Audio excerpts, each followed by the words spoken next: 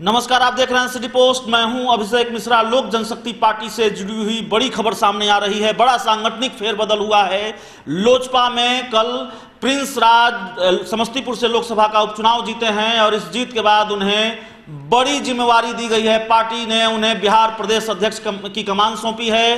तो समस्तीपुर के सांसद प्रिंस राज अब लोजपा के बिहार प्रदेश अध्यक्ष होंगे।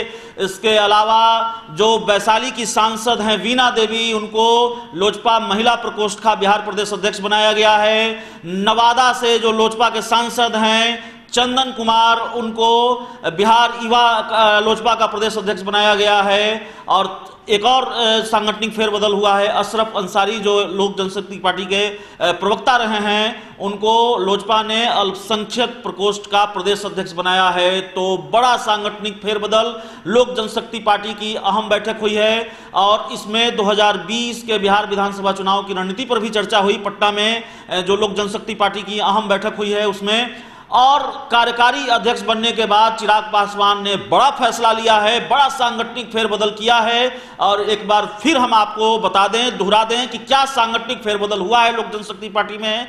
तो सबसे पहले लोकसभा उपचुनाव जीतकर जो सांसद बने हैं, समस्तीपुर का उपचुनाव जीता है प्रिंस राज।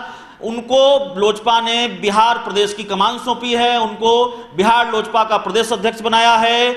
2019 का लोकसभा चुनाव जीती थी वैशाली से वीणा देवी। उनको महिला प्रकोष्ठ का प्रदेश अध्यक्ष बनाया है लोजपा ने बिहार का। और नवादा से 2019 का लोकसभा चुनाव जीते थे चंदन कुमार। उनको बिहार युवा लोजपा का प्रदेश अध्यक्ष बनाया गया है।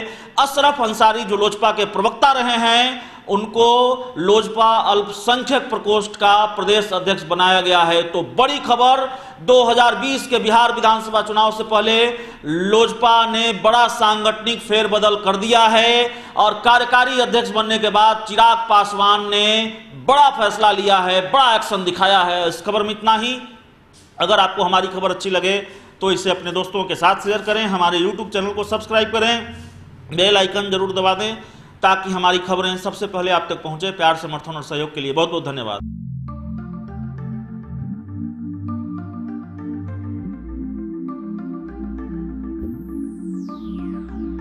चलो चलते हैं। पर कहाँ?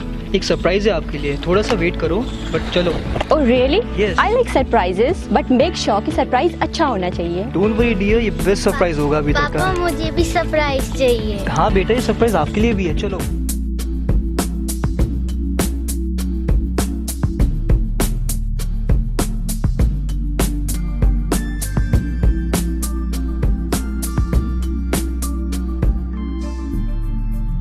बताओ कैसा लगा?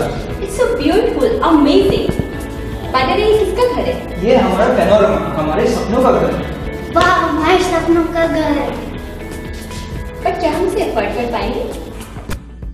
Hello sir hello ma'am Panorama township की यही खासियत है कि ये बिल्कुल ही अफोर्डेबल है। इसके साथ साथ यहाँ मेट्रो सिटी की तरह सारी अमेनिटीज भी हैं जैसे कि parking space temple club house and many more सबका सपना घर हो अपना पैनोरमा